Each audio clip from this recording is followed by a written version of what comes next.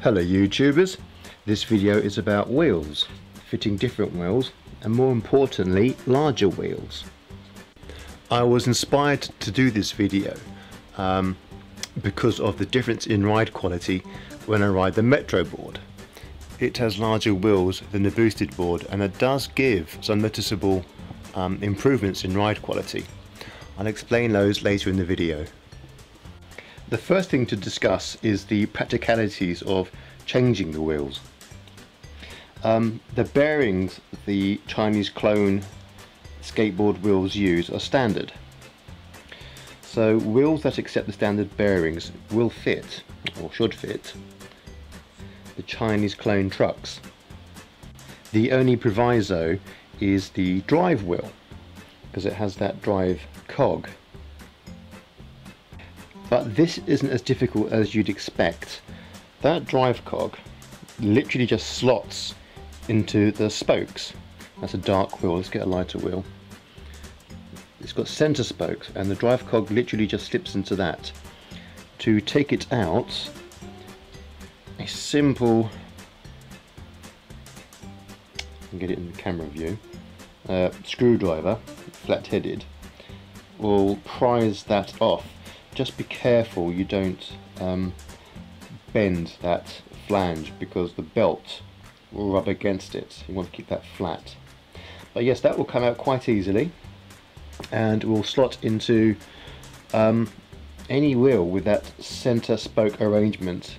I think ABEC 11 wheels have these. Um, and the Metro board, let me get closer. I don't know if you can see but the Metro board has that spoke arrangement as well and I know it works I've taken the drive cog from the Chinese clone and slotted it in the Metro board wheel and it's a perfect fit and the wheels I've used um, are budget ones off eBay which I got for £50 and are exactly the same size as the Metro board wheels which is 97 millimeters let me see if I can um, slot that out and give me a second. There you go. It really is a 20 second job. And that's the spokes. It's very dark in here. That's the spokes. And that will slot into any spoked wheel like that. Easy.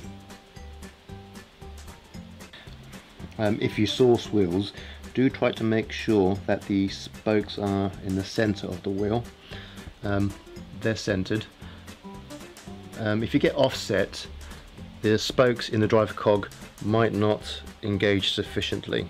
So you want the spokes in the middle not here. It's very difficult to show this one-handed but um, once you have the drive cog on the wheel um, you put the belt on the drive cog here and you push this onto the spindle and the belt engages the edge of the cog and as you turn the wheel you push it on and 30 seconds later it will go all the way on and the belt's fully engaged on the cog. The other thing to note is there's no um, slots for the motor. If I get a close-up of that.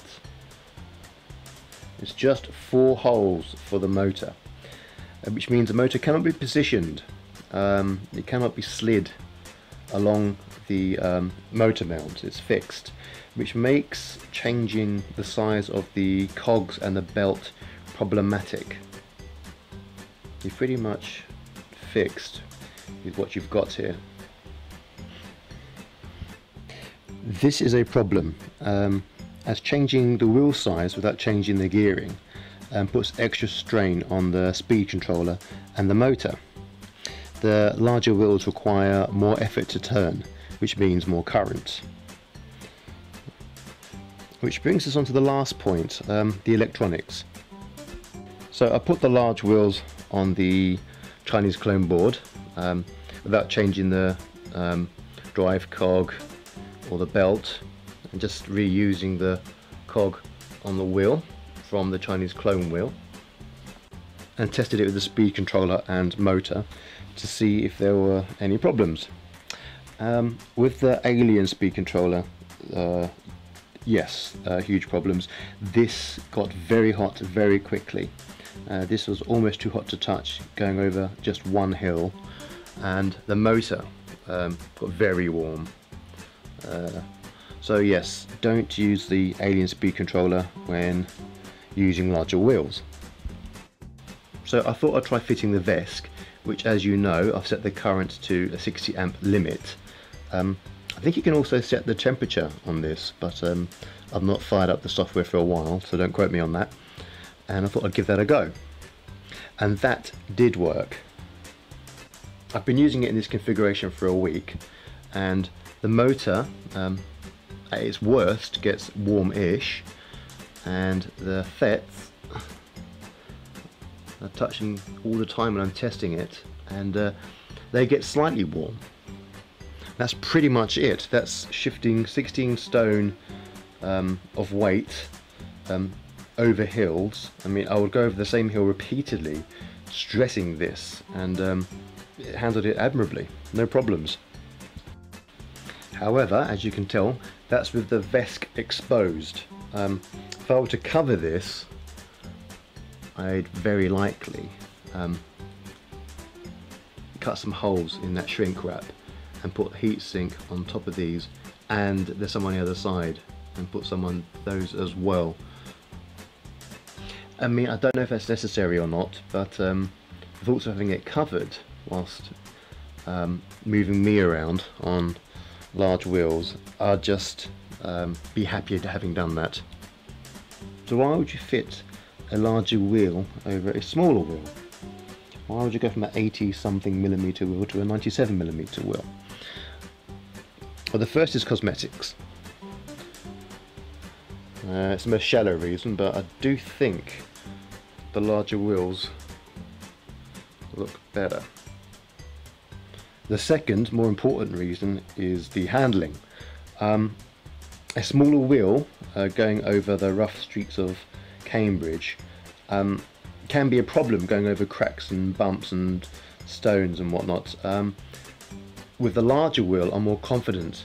I noticed that the first time when I took the Metro board out, I'm much more confident going on rough terrain with the Metro board than I am with the boosted board. Those smaller wheels are much more prone to picking up every bump and lump in the road as opposed to this. So that size wheel, you do get much more confidence riding a board around than you do on that size wheel. The other advantage is top speed is increased um, noticeably. I don't know what the uh, increase is exactly, I've not measured it, but um, it's significant and noticeable. I went down um, a few streets that are smooth, took the board up to top speed and it's much faster than using these wheels. I thought because the wheels are larger, going over hills might take a hit, but it doesn't. Um, I went over that um, cycle path, footpath bridge over the railway tracks you've seen in previous videos with these wheels um, several times and it handles it perfectly. So it's a win-win really. So I think that's probably it for my Chinese clone board modifications. Um, I did have one possible idea left um, to change the battery for some off-the-shelf batteries of a higher capacity but that's not particularly innovative um, anyone can get a 24 volt lithium battery and stick that on as long as it's got a higher capacity than this which is meant to be uh, 8AH I've not measured that um, you'll increase the range. But this battery is um, more than adequate for my needs. And if I go down the route of having replaceable batteries I want to keep this and get another one of the same type. So I think I'm going to choose from the modifications we've come up with so far. Um, settle on a final design for my Chinese clone longboard. And uh, make it. So with that in mind until next time bye for now